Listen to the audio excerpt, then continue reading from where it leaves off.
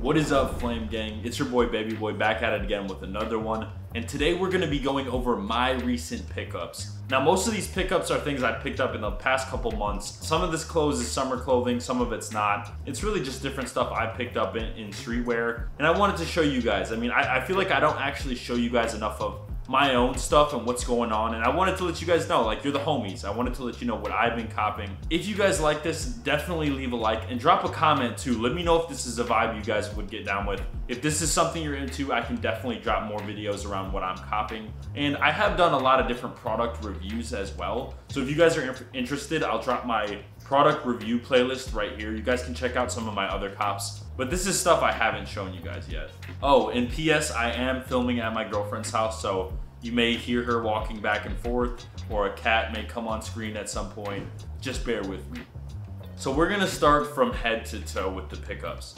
Starting off with the head, I am a hat guy, and I copped a few different hats recently. Starting off with this old school Pirates hat. Um, nothing too special about this one. This is a Velcro. It's kind of like a strap back Velcro. Nothing very special, green underbrim. It's got a little bit of sweat on it, but I just got this because it's kind of a classic looking hat. I love the P. It, it, it's just pretty standard. Something I'm not afraid to beat up, giving me that vintage look.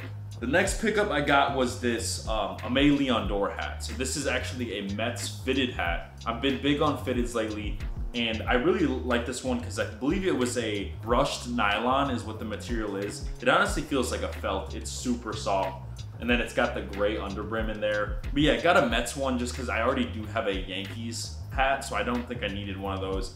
I'm not really a baseball guy, so you're gonna see a lot of random teams here. But as you can see, Aimé Leon Dore fitted. I just think it's a dope look. It's kind of like an OG looking hat. Thought it was a dope pickup for summer and fall. Next up, I got this Fat Tiger Works corduroy hat. Um, it is kind of like a five panel vibe.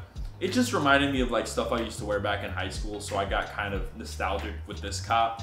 But I do like how it fits. It's kind of like a straight bill, which is hats I don't really rock with too much anymore. But I do like the look of it, and it, has got a really nice color and feels good. And Fat Tiger Works is a Chicago-based kind of streetwear brand, so you know I gotta support the local local home teams. But I'll definitely get a lot of wear out of it in the fall. These next two I actually bought at the same time, which were these two fitteds I got from Lids. Going over the first one, this is kind of an all gray gray and purple and white are the kind of the accent colors. There's a little bit of black on there as well. Chicago Bulls, I'm a huge Bulls fan, and we just got a squad going. We just got some really good pickups with DeMar DeRozan, uh, Lonzo Ball, Alex Caruso, so I'm hyped on the team. As far as this, as this fitted, I'm not super happy with this purchase because both of these fitteds I got are they're a little bit trendy. And I kind of regret it because I know in a year or two I'm gonna look back and just wish I got you know, a fitted that was a bit less trendy, less colorful, maybe a green underbrim or a gray underbrim, something classic. I'm definitely gonna be rocking this hat. Um, I do like it for now. Uh, it's just hard because with the amount of colors it's got going on, it, it makes you, you just wanna like coordinate all the colors. Same thing with this fitted. Um, I actually do this like with this one because it's got some cool accents.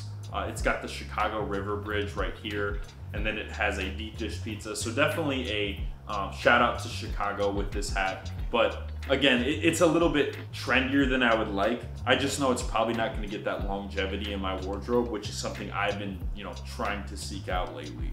But still a pretty cool hat. All right, next up, we're moving down to tops. So anything that fits on the body. First t-shirt I got is a this vintage Reba t-shirt. Um, I'm very excited about this one as Reba is like one of the most famous gingers and us gingers have to stick together. So that's kind of why I bought this one.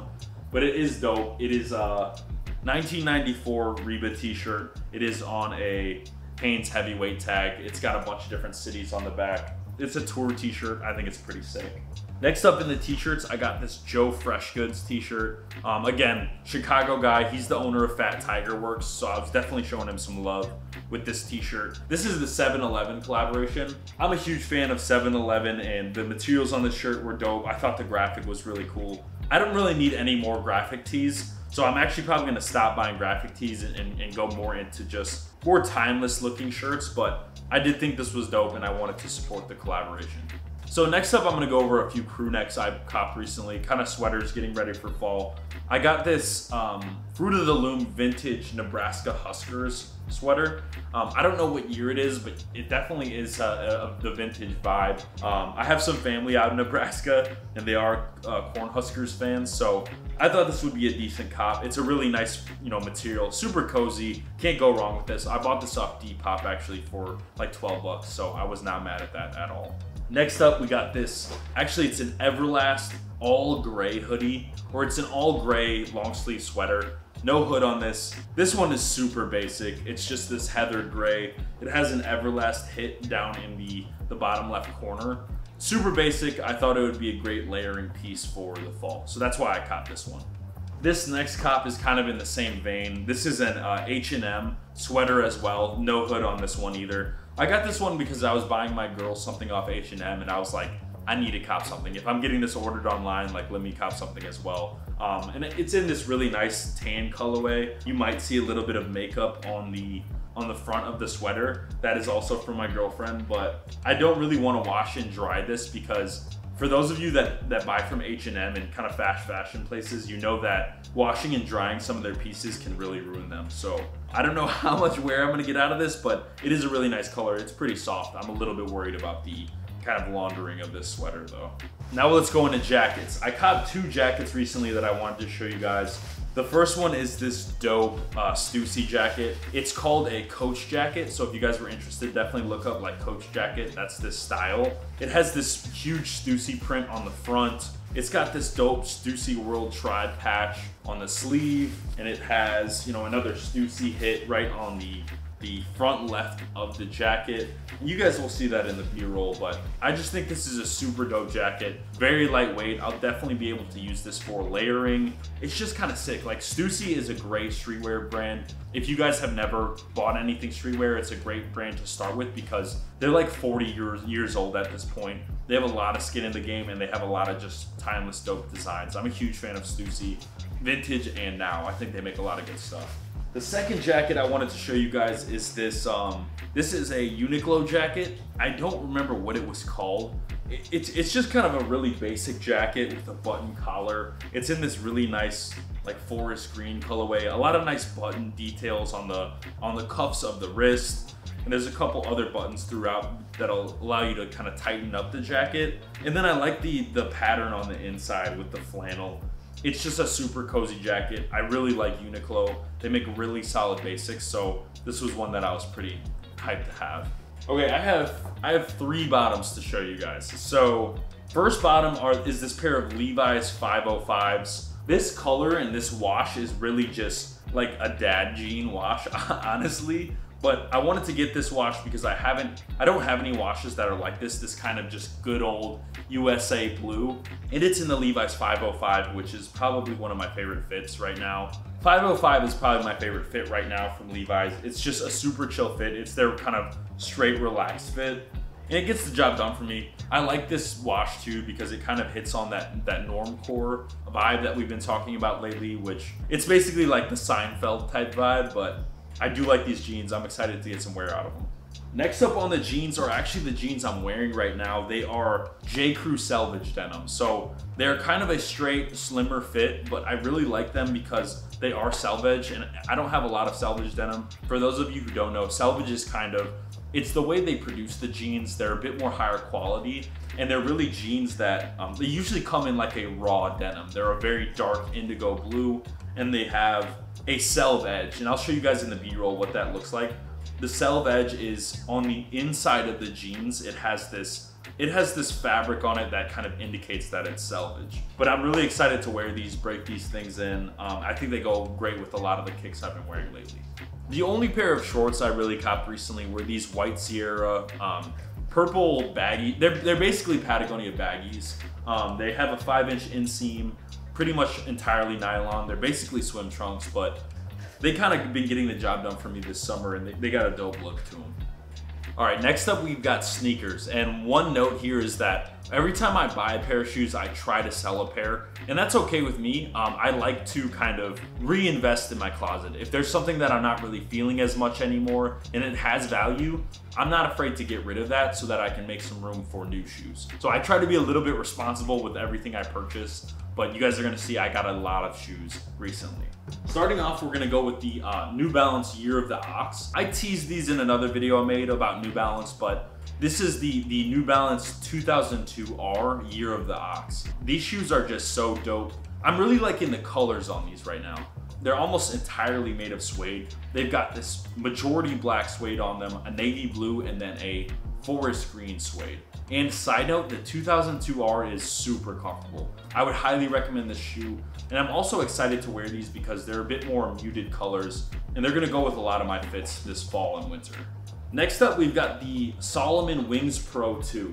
So I actually thrifted these shoes for $8 and I was very surprised. I wore these out in a weekend hiking in Denver and they really got the job done. This was my first pair of Salomons. They are very comfortable. They're a great hiking shoe, and they also fit with that like core, core aesthetic we've been talking about recently. So I'm I'm very stoked to have these. I think I might have to get another pair, but for eight bucks, I couldn't go wrong with these. I bought these at the thrift, kind of cleaned them up a bit, and I really like the look of them.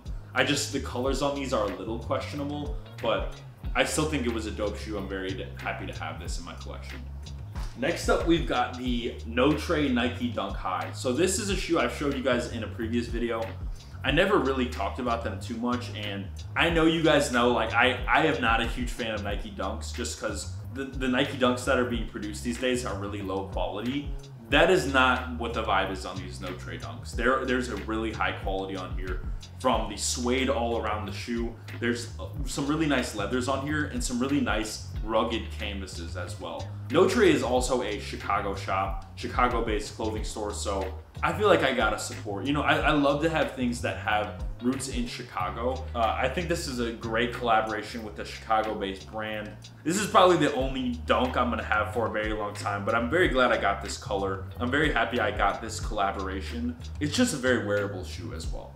Next up, we got the Pyer Moss Reebok. I think this one was called the Daytona, maybe. I got these for a pretty good deal on eBay. Um, they, I think I got them for like 90 bucks, so I was pretty hyped. But I got into this a designer, Pyer Moss. He's a Haitian American designer, doing a lot of dope things with footwear.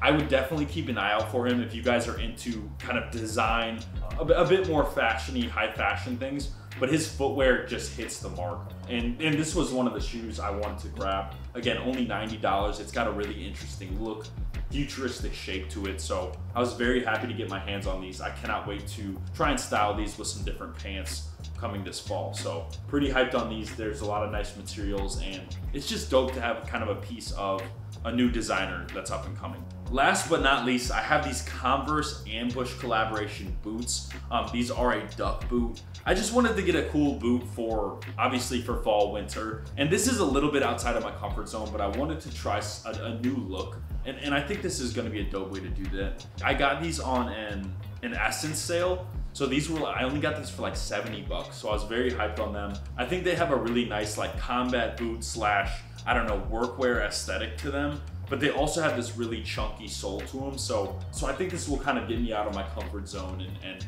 you know, make me kind of rock some new fits. So I'm excited for these.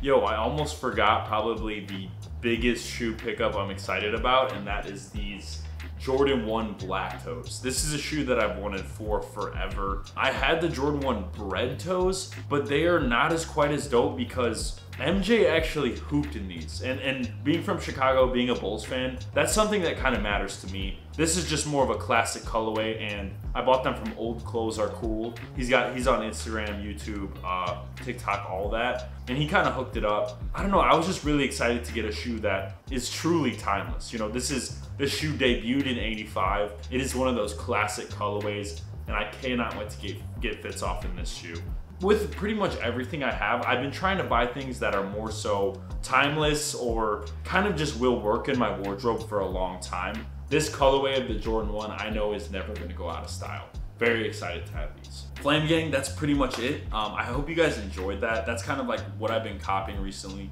If you guys like this, I would definitely be down to do more streetwear pickups in the near future and just keep documenting what I'm copying. But I hope you guys enjoyed this. Remember to hit like, subscribe, and I'll see you in the next one. Stay fresh out there. Peace.